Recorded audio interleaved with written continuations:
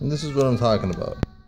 You know, when it's fully extended, it seems that the gap is measurable to the other side, but, and I suppose that's how thrust bearings work. Uh, I just, just uncomfortable with it. Seems out of line.